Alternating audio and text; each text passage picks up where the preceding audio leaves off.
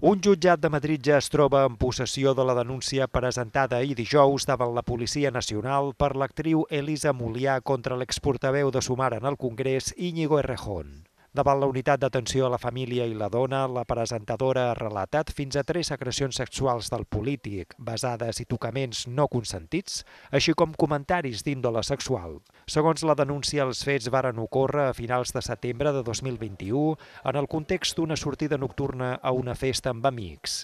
Segons el relat de la dona, Errejón va agredir-la a un ascensor, a una habitació a la casa de la festa i en una tercera ocasió a casa del polític. Molia ha denunciat que allà fins i tot va haver de recordar a Rajón que només sí ets sí i ha insistit que ella va sentir-se paralitzada i que en cap moment va consentir els fets. Des del PP han acusat Sumar de tapar el que ha ocorregut. La duda que cabe es preguntarse, y alguien tendrá que responderlo, desde cuándo se sabían estos comportamientos y por qué se callaron si se sabían desde hace tiempo. Y lo que estamos teniendo oportunidad de conocer en estas últimas horas es que opinadores, periodistas, eh, compañeros decían, ya sabíamos que esto estaba pasando.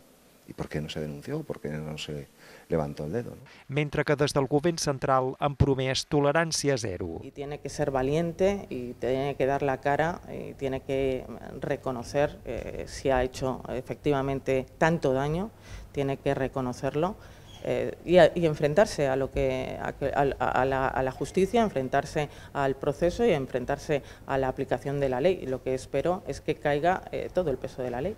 Des de Sumar afirmen que les actuacions contra Rajón varen començar dimarts passat. Ell va presentar ahir la dimissió com a portaveu de Sumar en el Congrés i va renunciar a continuar en política.